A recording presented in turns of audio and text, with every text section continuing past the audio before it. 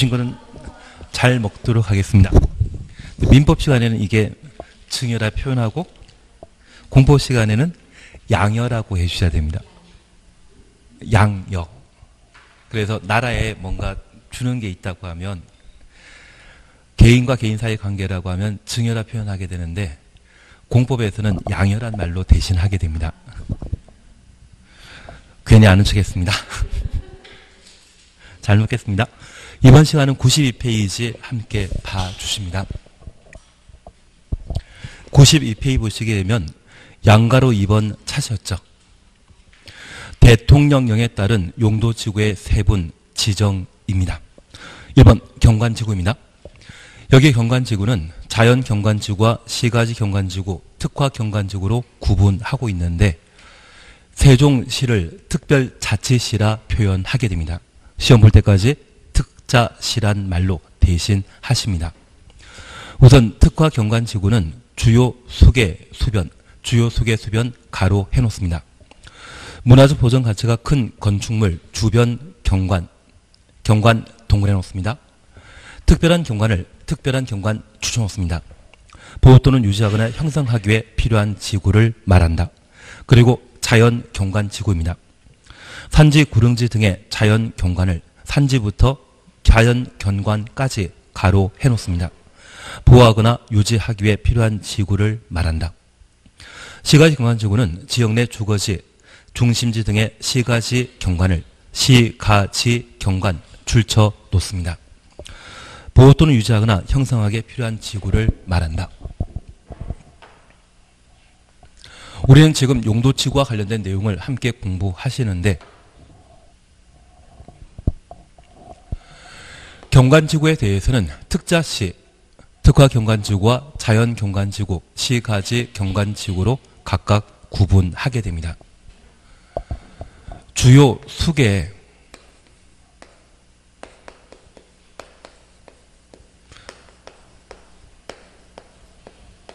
수변 경관인 특별한 경관을 보호하기 위해 지정하는 용도 지구를 특화 경관 지구라 하는데 우리 세종시에는 금강이라고 하는 강이 흐르고 있습니다. 그 강이 만수일 때 땅과 경계 이루는 곳을 수계라 하고 그런 수변 주변에 경관을 보호하기 위해 지정한 용도 지구가 있다면 얘를 특화 경관 지구라 표현하게 됩니다. 자연 경관 지구는 산지 구릉지였습니다. 산지 구릉지입니다. 그래서 만약 주요 수계 수변 경관이 자연 경관과 연결된다 착각하시면 바로 틀립니다. 산지 구릉지일 때만 자연 경관 지구이고 수변 경관이란 말 쓰게 된다면 그때는 특화 경관 지구의 지정 대상이라는 걸 확인해 놓습니다. 그래서 공주 넘어가는 쪽에 산이 있지 않습니까? 만약 그런 산이 중요한 산이라고 하면 그때는 자연 경관 지구로 지정되게 되는데 금강 일대에 대해서는 특화 경관지구로 지정하게 됩니다. 취지 구분되시겠습니까?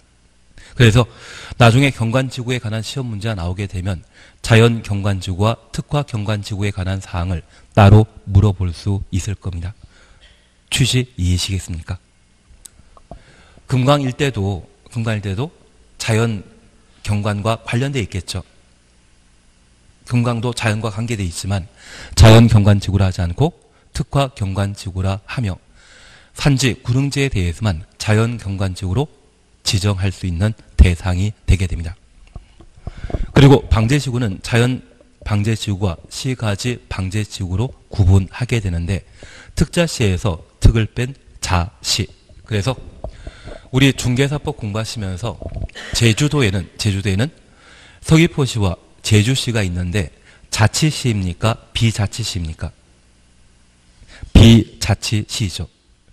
제주도에서는 제주도지사만 선거로 뽑고 제주시장은 제주도지사가 임명하는 직에 해당하게 됩니다.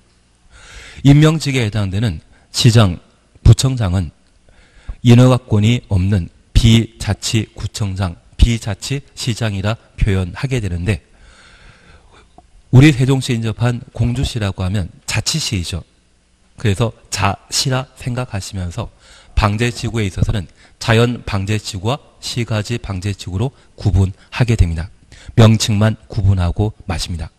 다만 향후 토지의 가격이 올라갈 수 있는 동네는 시가지 경, 시가지 방제지구일 때 그러한 곳만 가격 올라가고 자연 방제지구는 사람이 거의 살지 않는 곳이기 때문에 토지의 가격은 절대 오르지 못할 겁니다.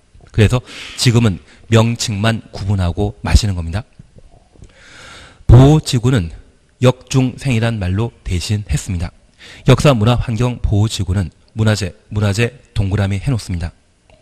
전통 사찰 등의 역사 문화적 보존 가치가 큰 시설, 지역의 보호, 보존을 위해 필요한 지구를 말합니다.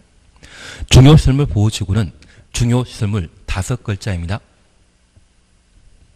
공항은 공군과 관계돼 있죠. 그래서 공용시설, 항만시설, 공항시설, 군사시설, 교정시설 다섯 가지를 중요시설물이라 하고 학교시설은 빠진다라는 것만 확인해 놓습니다. 생태, 생태계 보호지구에 대해서는 명칭만 구분하면 되십니다. 그리고 쥐락지구는 자연 쥐락지구와 집단 쥐락지구로 구분하고 있는데 명칭만 구분해 주십시오. 그리고 개발진흥지구는 주거개발진흥지구와 산운송개발진흥지구, 관광휴양개발진흥지구 앞 글자를 따면 주산관입니다. 그리고 복합개발진흥지구는 주거기능, 공업기능, 유통, 물류기능 및 관광, 휴양기능 중에 둘 이상의 기능을 중심으로 개발 정비할 필요가 있는 지구를 복합개발진흥지구라 하는데 서울에 인접한 성남시에는 판고, 판교 테크노밸리를 개발한 적이 있습니다. 그 판교에는 공업 기능 외 상업 기능, 주거 기능까지 복합적으로 개발되어 있는데 그러한 곳이 복합개발진흥지구가 되게 됩니다. 향후 세종시에서도 테크노빌리가 만들어지게 될 텐데 그게 만들어지게 되면 아마 전이면 쪽으로 개발하게 될 겁니다. 그리고 특정 개발진흥지구라 하면 주거, 공업, 유통, 물류, 관광, 휴양 기능, 외 기능, 외 기능 추천습니다.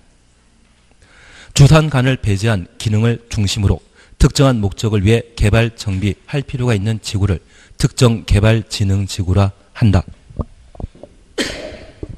그래서 우리가 잠깐 구분해 주실 것은 용도지구와 관련되어서는 법령에서 용도지구를 구분하거나 세분하게 되는데 법령에서 용도지구 구분하게 되면 취계특보, 경보고, 방, 방입니다. 그리고 시행령에서 이 아홉 가지 용도 지구 중에 다섯 개에 대해서는 세분하게 되는데 취락지구는 자집, 자연취락지구와 집단취락지구입니다. 그리고 개발진흥지구는 주산관입니다. 복합 특정개발진흥지구, 보호지구는 역중생이죠. 역사 문화 환경 보호지구와 중요성을 보호지구, 생태계 보호지구로 구분한다는 것 확인해 주시고 경관지구는 특자시입니다. 특화 경관지구, 자연 경관지구, 시가지 경관지구. 방제지구에 대해서는 자시입니다. 자연 방제지구와 시가지 방제지구 총 다섯 개를 시행령에서 세분한다라는 것 확인해 놓습니다. 다만 이 용도 지구는 지역의 특수성을 고려하여 용도 지구를 지정하게 되는데 진짜 필요하다고 하면 법령이 아닌 무엇으로 조례로 용도 지구를 신설하거나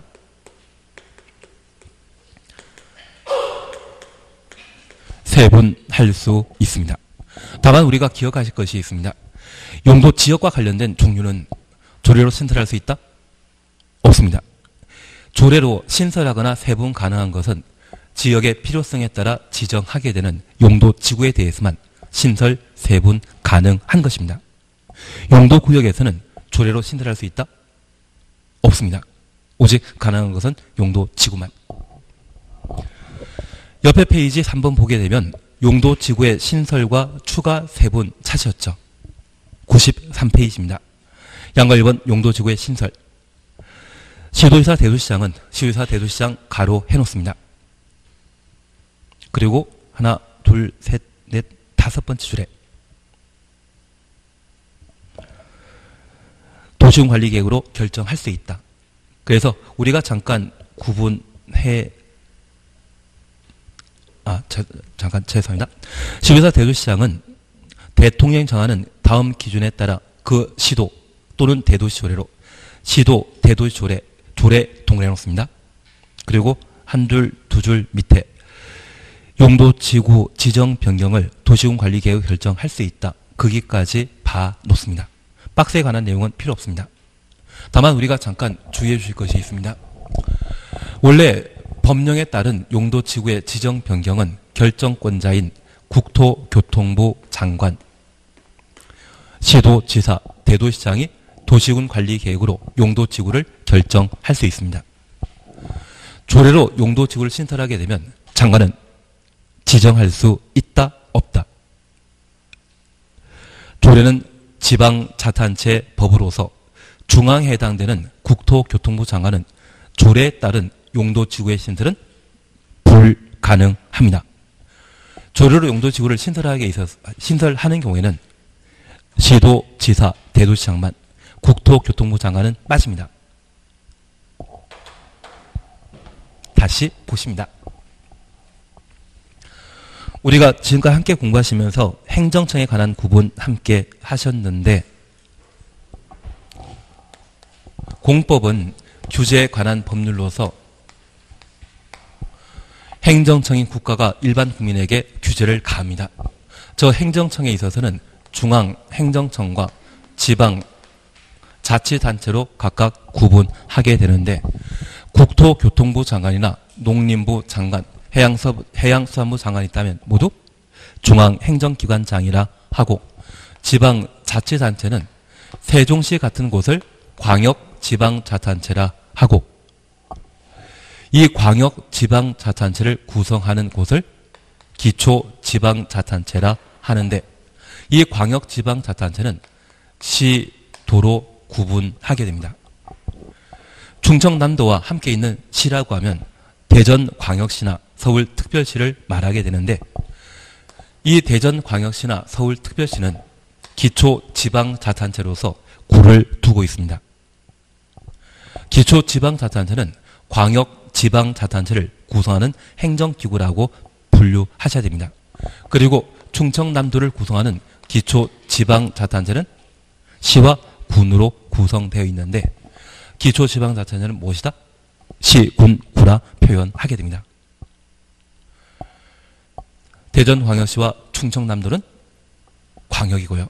이 광역은 둘 이상의 시군구로 구성되었을 때 광역 지방자치단체라 표현하게 됩니다. 그런데 우리 국토계획법에서는 구청장이 등장하지 않습니다. 국토계획법은 국가 계획을 집행하는 법률로서 그 집행은 시, 군, 구 단위로 한다? 도시, 군 단위로 한다. 도시, 군 단위로 하게 됩니다. 그러면 대전광역시에서는 대전시가 도시에 해당되는 것이지 대전시의 서구가 도시가 되는 것은 아닙니다. 대전광역시는 여러 구로 구성되어 있는데 대전 서구나 중구가 대전시를 대표한다? 대전시 자체가 대전을 대표한다. 대전시 자체가 대전을 대표하게 됩니다. 우리 국토계획법은 도시와 군 단위로 집행하는 법률이기 때문에 도시군 계획이라는 것을 우리가 함께 보셨습니다. 그래서 대전시에는 서구가 등장하는 것이 아니라 대전광역시가 등장해야 됩니다. 반면 충청남도에서는 도가 단위가 되는 것이 아니라 충청남도에서는 한 10개 정도의 11개 정도의 도시와 군으로 구성되어 있거든요. 그래서 도시군 계획이라 하면 특별시, 광역시, 시, 군 단위로 집행하는 계획을 도시군 계획이라 표현하게 됩니다. 국토계획법에서는 구청장은 등장하는 것 아닙니다. 국토계획법에서 시군 구청장, 구청장이 각종 인허가권을 행사한다고 하면 무조건 틀린 질문으로 잡아내셔야 됩니다. 조금 이해하시겠습니까? 그리고 법을 만들게 되면 이 법은 중앙에서 만들게 되면 국회 통과했을 때 법률이고요. 대통령 명령과 장관 명령이 있죠. 대통령 명령을, 명령을 시행령이라고 장관 명령을 시행 규칙이라는데 법률과 명령에서 한 글자씩 따서 법령이라 표현하게 되면 전국에 동일한 기준으로 적용되는 법을 말하게 됩니다. 그리고 지방에 만들어지는 법이 있다고 하면 그 법을 뭐라 한다? 조례라 합니다. 이 조례는 중앙에서 만든 것이다. 지방에서 만든 것이다. 지방에서 만든 것입니다. 그러면 앞서 조례로 용도 지구를 신설하거나 세분하거나 추가 세분하게 되면 관할 관청은 지방 자치 단체가 되는 것이지 중앙인 국토교통부 장관이 조례로 용도 지구를 신설하는 것은 불가능하죠. 그래서 만약 국토교통부 장관, 시의사, 대도시장이 조례로 용도 지구를 신설할 수 있다. 그런 취지에 준하면 국토교통부 장관이 들어가기 때문에 그건 틀린 겁니다. 우리가 공법을 좀 쉽게 접근하고 점수를 많이 확보하기 위해서는 관할을 이해해 주셔야 됩니다. 국토교통부 장관은 조례를 만드는 자이다 아니다. 지방자치단체가 만들거든요. 그래서 용도지구의 신설은 시도에서 대도시장이 하는 것이지 국토교통부 장관이 용도지구 신설한다. 이 말씀은 바로 틀린 겁니다. 그래서 우리 93페이지에 양가 1번 용도지구 신설과 관련되어 첫 번째 시도의사 또는 대도시장 이것 가로해 놓으셨죠. 그리고 그 다음 줄에 조례 동그라미 해놓, 해놨습니다. 도시군 관리계획 결정할 수 있다. 다른 거 없습니다. 용도 지구를 신설하는 것은 국토교통부 장관은 조례로 신설할 수 없다라는 것을 확인해 주셔야 됩니다. 그리고 양가로 2번입니다. 용도 지구의 추가 세분입니다.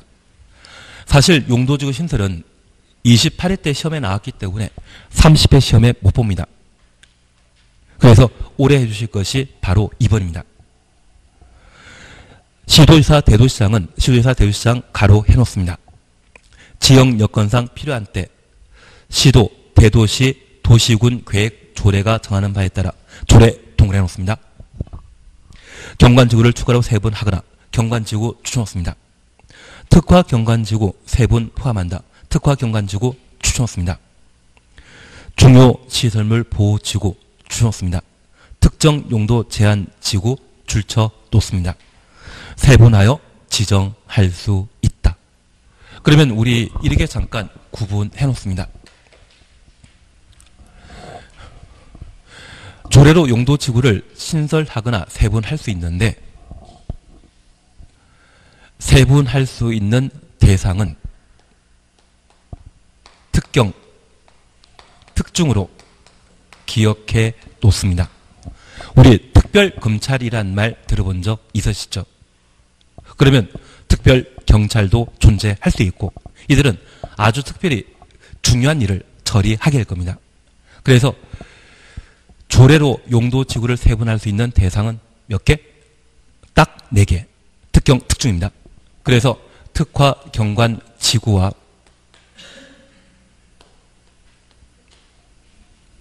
경관 지구, 특정 용도 제한 지구, 중요 시설물, 보호 지구에 있어서는 조례가 정하는 바에 따라 용도 지구를 세분하거나 추가 세분할 수 있습니다. 다만 우리가 이해하실 것이 있습니다. 이 조례는 각 지방마다 달리 정할 수 있는 법이 조례입니다. 우리 시험은 전국을 대상으로 시험 보는 것으로서 세종시만 따로 떼어 시험 보는 게 아니거든요. 그래서 이 조례에 관한 구체적인 사항은 시험에 내질 않습니다. 단순히 시험에 내게 된다면 조례에 따라 시도의사 대도시장이 용도지구 신설할 수 있다. 조례에 따라 시도의사 대도시장이 세분할 수 있는 용도지구 무엇인가 그걸 물어보는 게 우리 시험 형태입니다. 그래서 조례에 따라 용도 지구를 세분하게 되면 세분할 수 있는 대상은 몇 개? 네 개. 특경, 특중입니다. 그렇게만 시험 볼 때까지 잡고 가십니다. 그리고 다음 페이지에 좋은 이야기 있는데 방제 지구는 일단 접으시고 4번 복합 용도 지구 지정 차셨죠. 올해 개정된 사항인데 올해 이거 가지고 시험에 냈거든요. 다만 다시 비슷한 유형이 시험에 나올 수 있을 겁니다. 기출문제 나오겠습니까? 모의고사에 나오겠습니까? 촉이 좋으십니다. 모의고사에 나옵니다. 올해 냈는데 내내 또 내겠습니까? 대신 모의고사에서는 반드시 다루어지는 게 이쪽이고 모의고사 점수가 일정 정도 유지하시게 되면 자신감 생기지 않으시겠습니까? 그래서 함께 공부하십니다. 양가 4번 찾으셨죠? 시도의사 또는 대도시장은 시도의사 또는 대도시장 가로 해놓습니다. 대통령령이 정하는 주거적, 공업적, 관리 지역 대통령령이 정하는 부터 관리 지역까지 가로 해, 아, 밑에 나옵니다. 죄송합니다. 두 줄 밑에 보시게 되면 대통령이 정하는 주거적, 공업적, 관리 지역은 일반 주거 지역과 일반 공업 지역 계획 관리 지역, 일반 주거 지역부터 계획 관리 지역까지 가로 해 놓습니다. 이 세 개 용도 지역을 두 줄 위에 올라가시면 복합 용도 지구로 지정할 수 있다. 그래서 복합 용도 지구로 지정할 수 있는 대상 용도 지역은 세 곳입니다. 일반 주거 지역과 일반 공업 지역, 계획 관리 지역.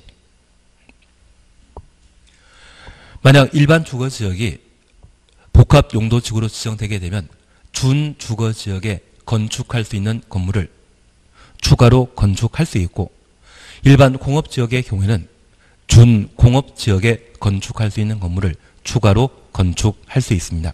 그래서 지금 당장 우리 해주실 것은 복합 용도 지구는 시도지사 대도시장이 일반 주거 지역과 일반 공업 지역, 계획 관리 지역을 대상으로 지정할 수 있다. 거기까지만 확인해 놓습니다. 그리고 이러한 용도 지구를 지정하게 되면 그에 따른 행위 제한을 가도록 되어 있는데 저 행위 제한과 관련되어서는 지금은 안 합니다. 여기까지 하면 다음 주에 나오는 분이 안 계십니다.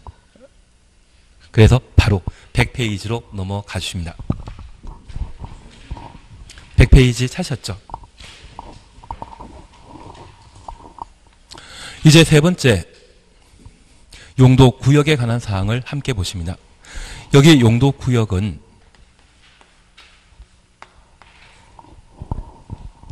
용도 구역의 종류와 그리고 지정권자에 대해서만 함께 확인해 주시고 추가로 해 주실 것은 목적에 관한 사항을 살피시는 게 필요합니다.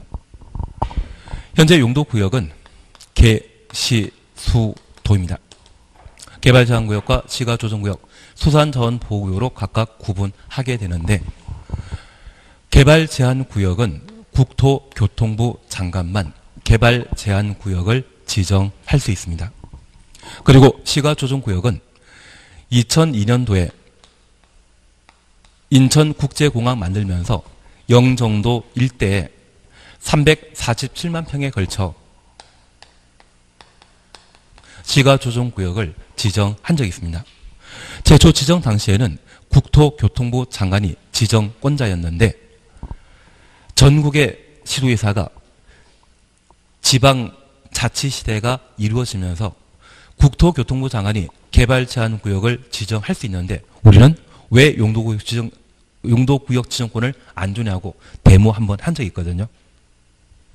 그래서 이 시가 조정 구역에 대한 지정권을 국토교통부 장관에서 시도 지사로 이전한 적이 있습니다. 만약 우리 동네 시도지사가 시가 조정구역을 새로 지정하게 된다면 그분은 다음 선거 때 당선된다, 낙선한다. 낙선하십니다. 시가 조정구역이 지정되게 되면 토지의 가격이 10분의 1 토막 나락버리는데 그 토지 소유자나 인접한 주민들이 좋아할 일 없거든요. 그래서 낙선할 게 뻔하다 보니 고난이 이전되고 나서 한 번도 시가 조정구역을 지정하신 지도의사가 안 계십니다. 그래서 이 시가 조정구역은 국민의 재산권을 워낙 심하게 침해하기 때문에 새로 지정한 사람들이 없더라고요. 그래서 이를 보완할 목적으로 국가계획과 연관된 시가 조정구역은 국토교통부 장관이 예외적으로 지정할 수 있습니다. 올해 시험에 나왔던 게 얘거든요. 국가계획과 연계된 시가조정구역은 누가? 국토교통부 장관이. 그래서 다음에 우리가 함께 봐주실 것은 시가조정구역의 원칙적인 결정권자는 누구이다? 시도지사. 대도시장 들어가는 거 아닙니다. 시도지사만 시가조정구역 지정할 수 있다는 것 기억하시고 국가계획과 연계된 경우는 국토교통부 장관이 시가조정구역 지정할 수 있다. 그렇게 파악해 놓습니다. 그리고 수산자원보호구역은 수산자원을 보호하기 위해 지정하는 용도구역인데 어패류를 말합니다. 대부분 바다를 대상으로 지정할 수 있겠죠. 바다에는 개인 소유의 땅이 없습니다. 지정하건 말건 관심 바뀝니다. 그래서 해양수산부 장관이 수산자원보호구역 지정할 수 있는데 크게 시험에 영향이 미치는 것은 아니고 다만 장관급이 수산자원보호구역을 지정할 수 있다. 그렇게만 기억해 놓습니다. 그리고 도시 자연공원 구역은 최근 열심히 지정하려고 합니다. 현재 도시자연공원 구역은 지도의사와 인구 50만 이상의 대도시장이 도시 자연 공원 구역을 지정할 수 있는데 제가 아는 분이 한 5년 전에 5년 전에 빌라를 열심히 건축하셔 가지고 대박 터트리신 분이 계십니다. 대신 제가 그분 처음 뵀을 때는 8년 전이었는데 빌라 개발하다가 빌라 분양하다가 쫄딱 망하셔 가지고 완전히 망하셔 가지고 좀 도피하셨던 분이 계시는데 그분이 재기하셨더라고요. 그리고 재기하시면 그 당시에 혁신도시를 개발 사업하면서 각 지방에다가 정부기관이 이전하게 된다고 하면 이전되는 동네에는 아파트 단지를 새로 조성하는 데는 한 5년에서 길게는 7년까지 시간이 걸리거든요. 우리 세종시 같은 경우는 정부기관 이전하고 바로 아파트 개발 사업 착수했지만 좀 미진한 부분도 있지 않습니까, 아직? 그러면 신속히 주택 수요를 해결하기에 제일 좋은 방법이 빌라 만드는 게 일입니다. 그래서 앞으로 혁신도시가 만들어지게 된다면 나는 시행도 할 생각도 해주셔야 됩니다. 전혀 아직은 와닿지 않습니다. 자기는 따는 게 문제이시죠. 그래서 그분이 돈을 버셔가지고 그분 고향인 호남 광주에 있거든요. 그 호남 광주 주변에 국립공원으로서 무등산이 있습니다. 그 주변의 땅을 엄청 많이 구입하셨습니다. 저 무등산은 도시군 계획설에 해당되는 곳으로서 공원 용지로 결정되어 있는데 이 공원 용지에 대한 지정은 그 필요한 땅을 공원 만드는 자가 강제 수용하도록 되어 있습니다. 그런데 이 공원 지정하고 몇십 년 동안 강제 수용하지 않아 한 분이 헌법재판소에 위원이라고 소송을 내셨는데 헌법재판소에서는 그 의견 받아들여서 이것 위원이라는 것을 결정한 적이 있습니다. 그리고 2020년까지 강제 수용하지 않는다면 다 풀어주라고 해놨거든요. 그래서 서울 강남 같은 경우에도 강남 신도시 만들면서 천평, 이천평씩 공원 용지로 지정해 놓은 곳이 있습니다. 1970년대 공원 용지를 결정해 놨는데 지금까지 수용 안 했거든요. 돌아오는 2020년대 그 공원이 싹 풀리게 된다고 하면 원래 가지고 계신 어르신들은 고생 고생 하셨겠죠. 자제분들은 대박 트릴 것 같은데요. 요즘은 서울 강남 쪽이라면 땅 한 평이 1억 넘는 그런 곳도 있거든요. 그래서 이 공원이 2020년도에 일괄 해제되게 된다고 하면 그래도 도시 지역에 공원 좀 필요하지 않겠습니까? 그런 공원을 확보할 목적으로 시도의사 대도시장이 도시 자연 공원 구역을 지정할 수 있도록 해놨습니다. 대신 이거 우리 동네에 지정한다면 나는 찬성한다 반대한다. 땅 주인은 찬성한다, 반대한다. 앞으로 세상의 땅은 딱 두 가지입니다. 이미 내가 사놓은 땅과 앞으로 살 땅이 있다 생각해 주십시오. 그래서 앞으로 중개업 하시면 돈 버시면 살 땅 많으시죠. 땅 중에 생각하시고 이런 걸 지정하게 된다면 나는 반대할 수밖에 없을 겁니다. 그래서 이 도시 자연 공원구역 지정 자체가 좀 까다로운, 좀 수월한 표현은 못 됩니다. 다만 이런 권한을 누가 행사하고 있다? 지도사 대도시장이 그러면 개발 제한 구역을 결정하는 자는 국토교통부 장관만 결정할 수 있고 시가 조정 구역은 시의사 예외적으로 국토교통부 장관입니다. 해양수산 장관이 수산자원보호구역 지정할 수 있는데 특별히 대도시장도 지정할 수 있는 용도구역 하나 있죠. 그래서 다음 중 대도시장이 지정할 수 있는 용도구역 찾으라고 하면 도시 자연 공원 구역 찾아주시는 게 필요합니다. 우리 시험에서는 오지 순다 지문이 성립하지 못한다면 박스형이라 해서 기억, 니언, 디귿 나열해 놓고 찾아내라고 하는 경우 있거든요. 아직은 우리 시험이 워낙 착하셔가지고 기억, 니언, 뭐 니언, 디귿 조합인데 공무원 시험 같은 경우는 박스 속에 오르는 게 몇 개인가 개수를 찾아내라고 합니다. 가끔 실수해서 정답 찍는 분도 계시죠. 뭔지 모르기 때문에 그냥 넘어가도록 하겠습니다. 그래서 현재 도시자연공원구역을 지정할 수 있는 자는 장관은 지정권자 아닙니다. 시의사 대도시장이 결정권자라는 것 확인해 놓습니다. 그리고 개발 제한 구역은 무질서한 도시의 확산을 방지할 목적으로 국토교통부 장관이 지정할 수 있고 시가 조정구역은 무질서한 시가화 방지를 목적으로 지정하게 됩니다. 얘는 수산자원이 어패류라는 것을 이해해 주시면 충분합니다. 그리고 도시 자연 공원 구역은 도시 지역의 자연 환경을 보호할 목적으로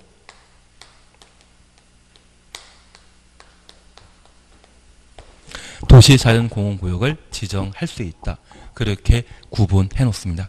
그래서 나중에 국립공원 부지에 공원이 풀리게 되면 광주에 계신 분은 거기에다가 골프장 만들겠다 하시더라고요. 그리고 주변에다가 펜션 몇 개 만들어 놓으면 대박 칠 거라 생각하시는데 아마 가능할 것 같습니다.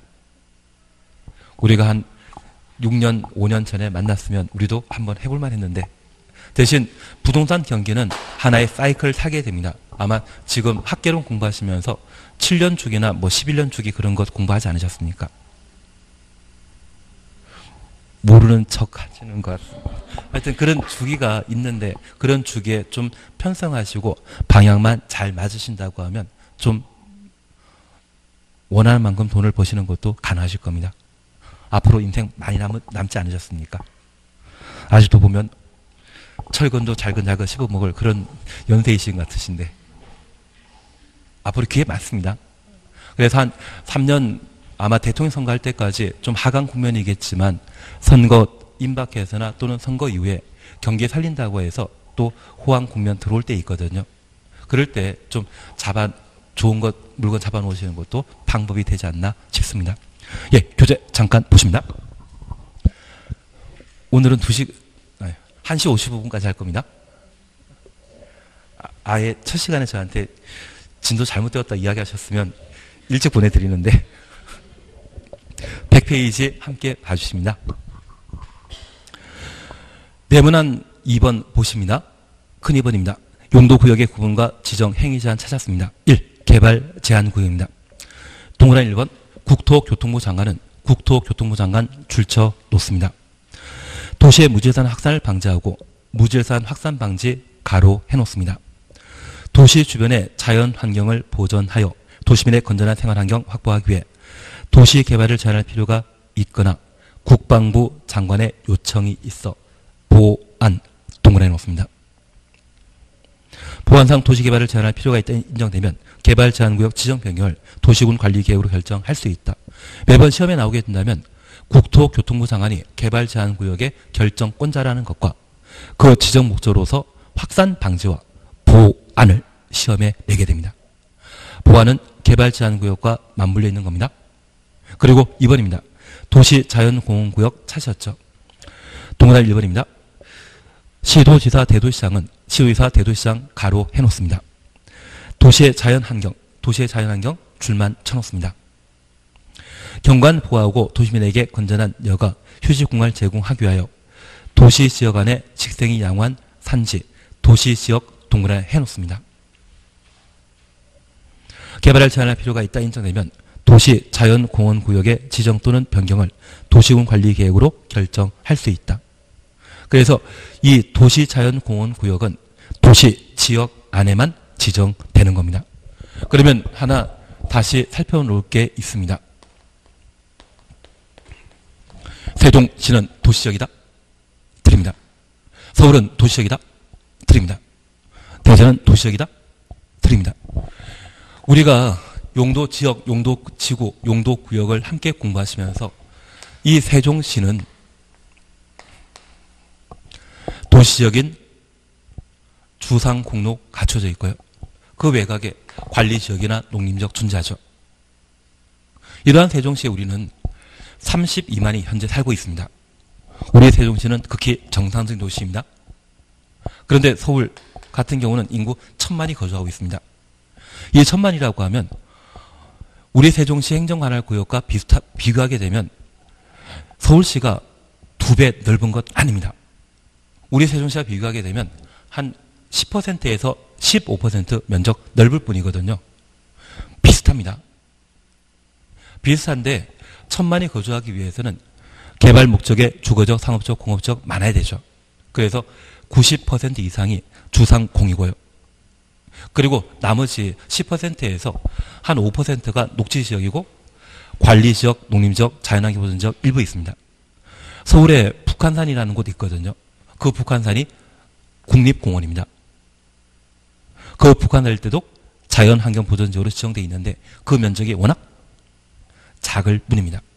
그래서 이 도시적이라고 하는 것은 주거적, 상업적, 공업적 녹지를 말하는 것이지 서울시가 도시적은 아닙니다.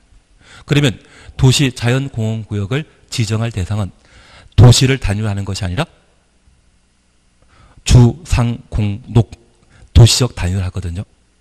대부분 어디 지정하겠습니까? 녹지 지역에 지정하는 것이 일반적이겠죠. 취진 조금 이해되시겠습니까? 그래서 도시 자연공원구역을 지정하는 대상은 도시 자체가 아니라 도시 지역에 수목이 잘 생육하고 있는 곳을 도시 아, 도시 자연공원구역으로 지정할 수 있다. 취지 이해하시겠습니까? 그래서 우리는 두 가지 기억해 주셔야 됩니다. 지정권자는 시도의사 대도시장이라는 것 확인하시고 지정 대상은 도시 지역 안에 식생이 양호한 산지 이곳을 대상으로 지정한다. 도시 지역이라는 말 눈에 익혀 주셔야 됩니다. 행위 제한에 대해서는 필요 없습니다. 그리고 3. 수산자원 보호구역은 명칭만. 그리고 4. 시가 조정 구역입니다. 동그란 1번입니다. 맨 마지막 줄입니다. 시도의사는 직접 또는 관계 행정기관에 요청받아 도시 지역과 그 주변 지역에 무질서한 시가 방지하고 시가화 방지 가로 해놓습니다. 계획적 단계적 개발을 도모하기 위해 대통령령이 정하는 기간 동안 시가를 유보할 필요가 있다 인정되면 시가 조정구역의 지정 또는 변경을 도시군 관리 계획으로 결정할 수 있다. 원칙적인 결정권자는 시도 지사입니다. 대도시장은 시가 조정구역의 결정권자 아니죠. 그리고 2번입니다. 국토교통부 장관의 지정입니다. 국가계획과 연계하여 국가계획과 연계 가로 해놓습니다. 시가 조정구역의 지정 또는 변경이 필요한 경우 국토교통부 장관이 직접 시가 조정구역의 지정 변경을 도시군 관리 계획으로 결정할 수 있다. 국토교통부 장관 줄쳐 놓습니다.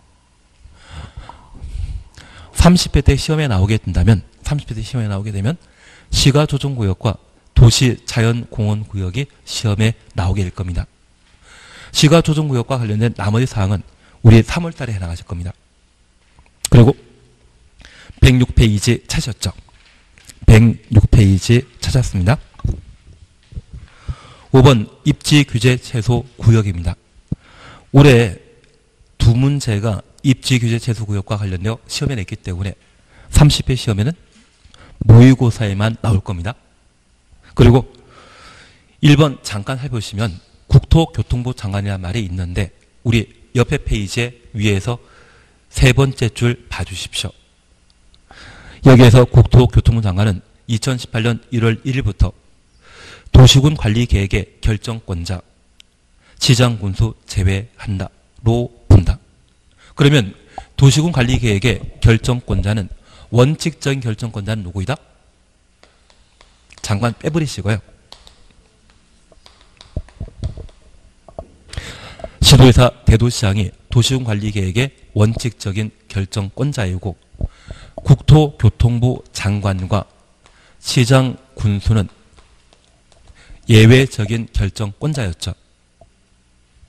시장 군수는 지구 단위 계획과 관련되어서만 결정권자이고 국토교통부 장관은 3개 소산자원보호구역은 해양수산부 장관이 국토교통부 장관이 직접 위반한 사항은 국토교통부 장관만 개발제한구역 국토교통부 장관만 국가계획과 연계된 시가조정구역은 국토교통부 장관만 결정한다. 그런데 얘가 29회 때 시험에 나왔거든요. 올해 나온다 안 나온다. 우리 다 출제위원급이지 않으십니까? 얘는 보통 시험에 내게 되면 7년에 한 번 시험에 나오거든요. 그래서 얘가 한번 최근에 왔다면 앞으로 6년 뒤에까지는 시험에 안 나옵니다. 6년 뒤에도 계속 공부하신다면 열심히 해야 되겠지만 얘는 알고 지나가시면 충분하지 더 이상 필요 없는 겁니다. 그래서 현재 입지 규제 최소 구역은 결정권자가 시도의사 대도시장이지 국토교통부 장관 아닙니다. 그리고 하단부에 박스 있는데 이런 건 필요 없습니다. 그래서 이제 이것만 이해하고 쉬었다 하십니다. 여기 입지 규제 제소 구역은 건축물을 대지에 세우는 것을 입지라 합니다. 건축물을 건축하는 데에는 다양한 규제가 존재하는데 이 규제를 최소화시키는 땅을 입지 규제 최소 구역이라 표현합니다. 이쪽에서는 개발 목적을 지정한 것이다. 비개발 목적으로 지정하는 것이다. 개발 목적입니다. 그래서 우리가 잔디밭이라는 것을 가끔 보시면 잔디가 잘 자라 있거든요. 그리고 가을철에 방문하시게 되면 코스모스가 자라는 것 보신 적 있으시죠? 저 코스모스 자라는 곳이 입지 규제 최소 구역의 지정 효과입니다. 우리 세종시에는 입지 규제 최소 구역이 지정되지 않았는데 서울 같은 경우는 입지규제 최소 구역으로 서울역과 용산역이라는 곳이 있거든요. 최근 서울시장, 서울시장은 용산과 여의도를 동시에 개발한다는 발표를 싱가포르에서 한번 했다가 완전히 투기 원흉으로 야단 맞은 적이 있습니다. 그리고 이분께서 그 발언을 철회했는데 용산, 여의도 개발 안 하겠다는 겁니까? 나중에 하겠다는 겁니까? 나중에 개발하겠다는 이야기입니다. 사실 서울 도시군 기본 계획에 따르게 되면 지금 도심은 사실 강남 쪽이거든요. 그 강남 쪽에 도심이 치우쳐 있는데 서울과 용산역을 향후 10년, 20년 뒤에 서울의 중심지로 개발하고자 개발 계획 수립하는 것이 도시군 기본 계획의 특징입니다.